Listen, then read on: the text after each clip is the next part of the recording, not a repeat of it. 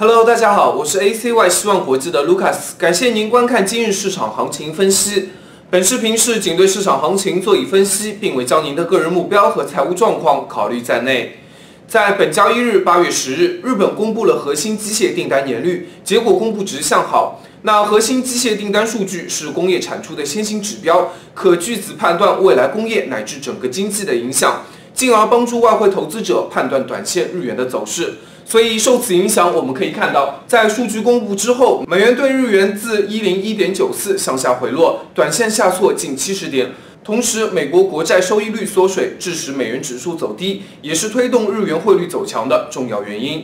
那从具体公布的数据显示，日本六月机械订单数据公布值为负百分之零点九，均好于预期的负百分之四点四及前值的负百分之十一点七。那这也表明了日本企业乐于增加资本支出。预计今年三季度日本核心机械订单也将实现增长。此外，首相安倍公布的大规模财政刺激计划扩大了基础设施投资支出，预计有望支撑商业投资环境的改善。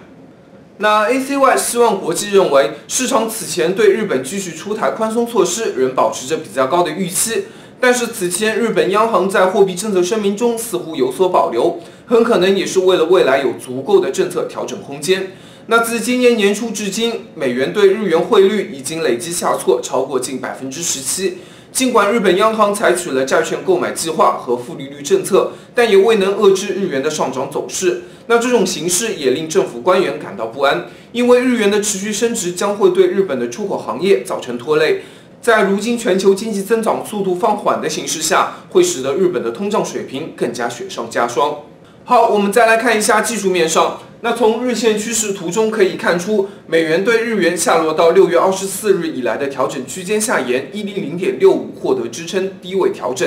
那随着调整时间延长，未来美元对日元突破支撑下落空间将进一步展开。目前美元对日元今天早盘在一零一点八零位置稍作调整，延续了短线的弱势。下落动能明显占据了优势，建议投资者重点关注上方短线阻力位一零二关口，下方则可关注支撑位一零零点六五。